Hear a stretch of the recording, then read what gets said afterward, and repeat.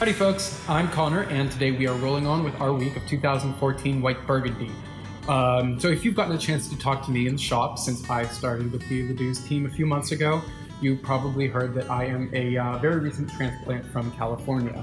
Uh, I've been drinking Californian wines pretty much all of my wine drinking life. Uh, part of that being proximity, but also that you know, as a uh, as a young twenty something, it can be a little intimidating to look at the prices on some of those really nice uh, Burgundies or Bordeaux and stuff. Um, fortunately, I have learned a lot recently, and uh, I'm going to be talking today about a producer and a region in Burgundy that might have the best value in uh, in that whole legendary region. And that is Macon. Um, it's a little bit further south, almost to Beaujolais, almost to Lyon. Uh, but the soil composition is almost identical to what they have in the Côte d'Or. So uh, what I have is from Olivier Merlin, uh, again in Macon, sort of an older producer, old school, doing organic style, but um, you know never got too much into the, really chemical stuff in the first place.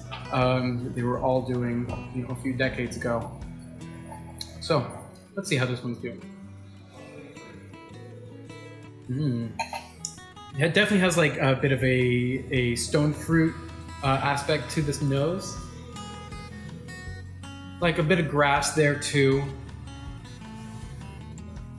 Very freshly cut, of course.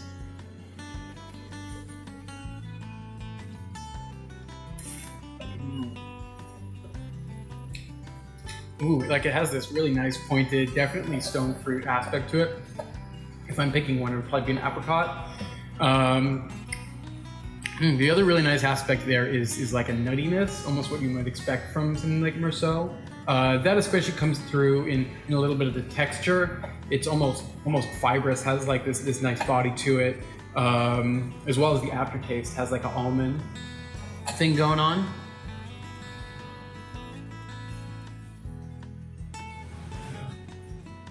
But yeah, it's definitely like this this friendly, almost flirty thing that you don't necessarily associate Burgundy with at first.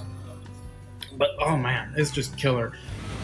So this is something. It's going to be thirty nine ninety nine on our shelf. So it's not like it's you know, like a little ten dollar thing. But if this was coming out of the, the heart of Burgundy, the Cote d'Or, could easily be twice that expensive. So if you're looking for like you know something that's a little more more fine wine to start your cellar, uh, maybe age for a little bit. I mean, you can absolutely drink it now. It's great it's an awesome place to start um, because these are wines that are going to be way more expensive in like 10 years or so.